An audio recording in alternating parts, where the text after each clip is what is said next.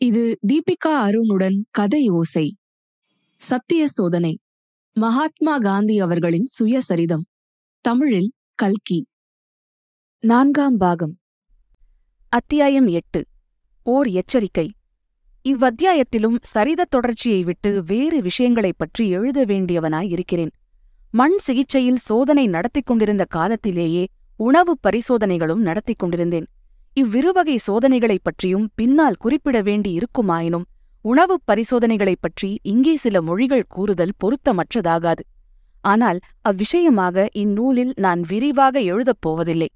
பல வருஷங்களுக்கு முன்பே குஜராத்தியில் எழுதிய சில கட்டுரைகளில் அச்சோதனைகளைப் பற்றி விவரித்துள்ளேன்.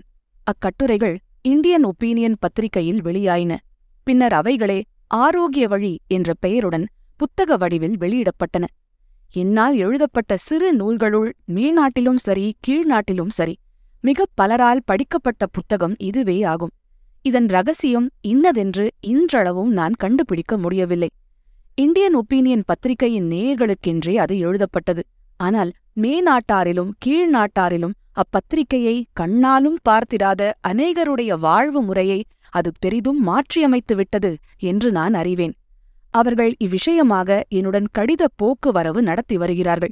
ஆதலின் அப்புத்தகத்தைப் பற்றி இங்கே சிறிது கூறுவது அவசியமாயிற்று.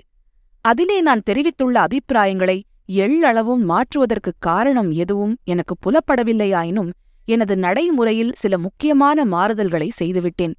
புத்தகம் படித்தவர்கள் எல்லாரும் அம்மாறுதல்களைப் பற்றி அறியார்களாதலின் அவற்றை இங்கே குறிப்பிடுதல் அவசியம் என்று கருதுகிறேன்.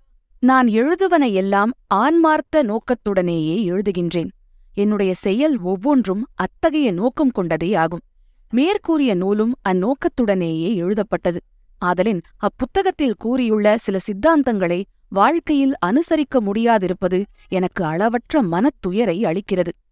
மனிதன் குழந்தையாயிருக்கும்போது அருந்தும் தாய்ப்பாலையன்றி வேறு பால் எதுவும் அருந்த வேண்டுவதில்லை என்பது என் உறுதியான கொள்கையாகும்.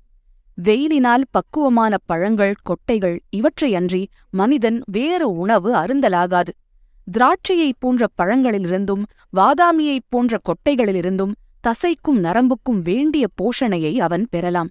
இத்தகைய உணவருந்தி வாழ்பவனுக்கு காமம் முதலிய தீ குணங்களை அடக்குதல் எளிதாயிருக்கும். மனிதன் எதை உண்ணுகிறானோ அதுபோலவே ஆகிறான் என்னும் பழமொழியில் நிரம்ப உண்மை உண்டென்று நானும் என் சகாக்களும் அனுபவத்திலிருந்து அறிந்திருக்கிறோம். இக்கருத்துக்கள் மேற்படி புத்தகத்தில் விரிவாக கூறப்பட்டிருக்கின்றன. ஆனால் துரதிருஷ்டவசமாக இந்தியாவிற்கு வந்தபின் நடைமுறையில் என் கொள்கைகள் சிலவற்றை நானே மறுக்கும்படி நேர்ந்திருக்கிறது. ஐரோப்பிய மகா யுத்தத்துக்கு ஆள் திரட்டும் வேலையில் ஈடுபட்டிருந்த போது உணவில் சிறிது முறை பிறழ்ந்து விட்டதன் பயனால் நோய்வாய்ப்பட்டு நமனுடன் மன்றாடும் நிலைக்கு வந்துவிட்டேன். இதனால் பெரிதும் மெலிந்து போன உடம்பை பால் அருந்தாமலே தேற்றிக்கொள்ள முயன்றேன். எனக்கு தெரிந்த டாக்டர்கள் வைத்தியர்கள் பௌதிக சாஸ்திரிகள் அனைவரையும் பாலுக்கு பதிலாய் அதைப்போல் சத்துள்ள பொருளொன்றை தெரிந்து சொல்லும்படி வேண்டிக் கொண்டேன். வாதாங்கொட்டை பால் முதலிய சிலவற்றை சிலர் குறிப்பிட்டார்கள். இவற்றை பரிசோதனை செய்து என் உடல் நிலையை இன்னும் கேவலமாக்கிக் கொண்டேனே அல்லாமல் நோய் படுக்கை நின்று எழுந்திருக்க வழியைக் காணோம். வைத்தியர்கள் சாரகரின் வைத்திய சாஸ்திரத்திலிருந்து ஸ்லோகங்களை படித்துக் காட்டினார்கள். நோயாளிக்கு உணவு கொடுக்கும் விஷயத்தில் மதக் கோட்பாடுகளை கவனிக்கக்கூடாது என்று அவை கூறின. எனவே பால் அருந்தாமல் வாழ்க்கை நடத்துவதற்கு அவர்கள் எனக்கு உதவி செய்தல் எங்கனம் அல்லது பிராந்தியும் மாட்டிறைச்சியும் அருந்தும்படி தயக்கமின்றி யோசனை சொன்ன ஆங்கில டாக்டர்கள்தான் எனக்கு இவ்விஷயத்தில் எப்படி உதவி செய்வார்கள்? பசுவின் பாலாவது எருமை பாலாவது அருந்துவதில்லை என்று நான் விரதம் பூண்டிருந்தேன். இவ்விரதத்தின் கருத்து எந்த பாலும் அருந்தக்கூடாது என்பதே ஆகும். ஆனால் விரதம் எடுத்துக்கொண்ட போது பசுவும் எருமையுமே என் நினைவில் இருந்தபடியாலும் இப்போது நான் உயிர் வாழ விரும்பியபடியாலும் எப்படியோ மனதை திருப்தி செய்து கொண்டு ஆட்டின் பால் அருந்துவதென்று தீர்மானித்தேன். இவ்வாறு ஆட்டுப்பால் அருந்தத் தொடங்கியபோது வெளிப்படையாக விரதத்தை காப்பாற்றினேன் என்றாலும் உண்மையில் விரத வங்கம் செய்துவிட்டேன் என்று உணர்ந்தே இருந்தேன். அப்போது ரவ்லெட் சட்டத்தை எடுத்து போராட்டம் நடத்த வேண்டும் என்னும் எண்ணம் என்னை பற்றியிருந்தது. இதனால் உயிர் வாழ வேண்டும் என்னும் ஆசையும் மிகுந்தது. இவ்வாசை காரணமாய் என் வாழ்க்கையில் மிகப்பெரிய சோதனைகளில் ஒன்று இடையில் தடைப்படலாயிற்று உண்ணல் குடித்தலுக்கும் ஆன்மாவுக்கும் சம்பந்தமில்லை. ஆன்மா உண்பதும் இல்லை குடிப்பதும் இல்லை. வெளியிலிருந்து உள்ளே செல்வது எது என்பது முக்கியமன்று. உள்ளிருந்து வெளியே வருவனவாகிய பேச்சும் நடத்தையுமே பிரதானம் என்பது போன்ற வாதங்களை நான் அறிவேன். இவ்வாதத்தில் ஓரளவு பொருளுண்டு என்பதில் சந்தேகமில்லை. ஆனால் இது குறித்து நான் விவாதிக்கப் போவதில்லை.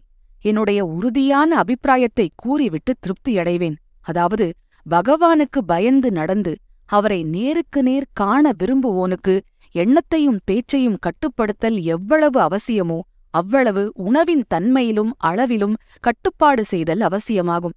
ஆனால் என்னுடைய சித்தாந்தத்தை நானே நடத்திக் காட்ட முடியாதிருக்கும் ஒரு விஷயத்தில் அதை தெரிவிப்பதோடு எச்சரிக்கை செய்யவும் நான் கடமைப்பட்டிருக்கிறேன். என் சித்தாந்தத்தின் பலத்தைக் கொண்டு பால் அருந்துவதை நிறுத்தியவர்கள் அதனால் அவர்களுக்கு எல்லா வகையிலும் நன்மை உண்டாயிருந்தாலன்றி அச்சோதனையை விட்டுவிடும்படி கேட்டுக்கொள்ளுகிறேன் அல்லது அனுபவமுள்ள வைத்தியர்களின் ஆலோசனை கேட்க வேண்டும். இதுவரையில் என்னுடைய அனுபவத்தினால் நான் தெரிந்து கொண்டிருப்பது என்னவென்றால் ஜீரண சக்தி குறைவானவர்களுக்கும் படுத்த படுக்கையாயிருப்பவர்களுக்கும் பாலை போல் எளிதில் செரிக்கக்கூடியதும் சத்துள்ளதுமான உணவு வேறில்லை என்பதே ஆகும். இவ்வத்தியாயத்தை படிப்பவர்களில் அனுபவமுள்ளவர்கள் யாரேனும் பாலை போல் எளிதில் ஜீரணிக்கக்கூடியதும் சத்துள்ளதுமான தாவர உணவுப் பொருளை அறிந்திருந்து எனக்கு எழுதித் தெரிவித்தால் மிக நன்றியுள்ளவனாயிருப்பேன். ஆனால் அது புத்தகத்தில் படித்து தெரிந்து கொண்டதாயிராமல் சொந்த அனுபவத்தில் அறிந்ததாய் இருக்க வேண்டும். அடுத்த அத்தியாயத்துடன் விரைவில் சந்திப்போம்.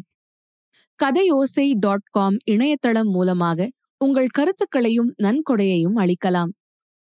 இது தீபிகா அருணுடன் கதையோசை.